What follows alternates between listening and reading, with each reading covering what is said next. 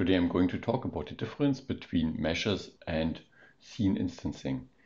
So I have this little example here of uh, points in a sphere and this default OBJ we are loading and then we basically clone this default mesh on these sphere points. And um, I have the same thing, almost the same thing here. So we again load this OBJ we have this points in this field, but then we repeat the mesh on points and create a new mesh with a lot of new vertices and faces, and then we draw the single mesh. And if we switch between these, they look completely the same. Or maybe there's one difference, so I disable the culling here. So now they look really the same. So why is this relevant? So to start with, this is slightly more efficient because it needs less uh, memory on the GPU. So this is a, is a super big mesh, but um, this is much smaller, of course. So we have uh, 100 points. So this buffer here is 100 times the size than this buffer. And so uploading it once will take a while. If you animate this, this will have some performance impacts.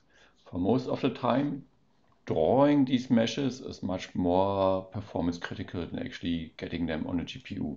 So um, most of the time this is just fine.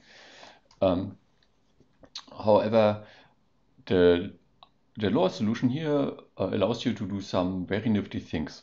So uh, let's take this here and let's pin this output there. And then now we can do something like um, displaced mesh. And let's animate this here with the time and maybe we slow this down a little bit and increase the like the uh, this amount here. And now we see okay like we have this I don't know what you call this this uh, ball of something.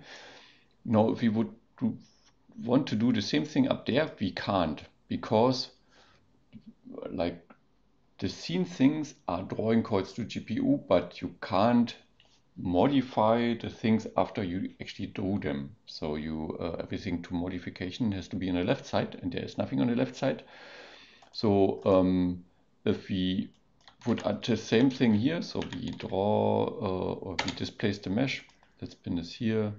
Let's quickly uh, also pipe this into a time. We see how this looks completely different because now the distorted mesh is being replicated 100 times, but it's always the same distortion. So sometimes this might be what you want, then instancing is just the way to go. Sometimes it might not.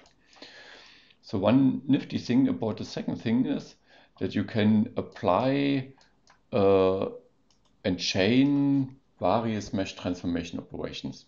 So for instance, now we have, uh, we displaced this mesh, but you could also do something like uh, project uh, the uh, new UV transforms um, to this mesh.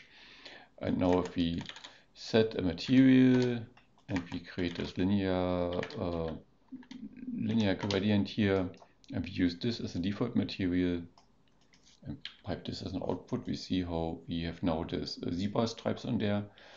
And now if we would go in here and say, oh, maybe we want to have, um, we want to make this fully transparent and maybe we can also uh, use alpha clipping here. We see that we now can slice through this geometry. So this is like super um, performance uh, heavy, but um, it's working and sometimes it's just fine to do something like this.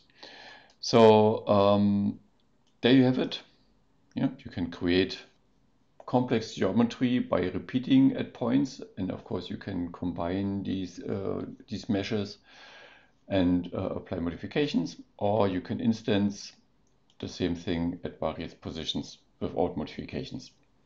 So I hope this clarifies some things. If you have more questions, join us on Discord. Um, yeah, we are listening. I want to see you there.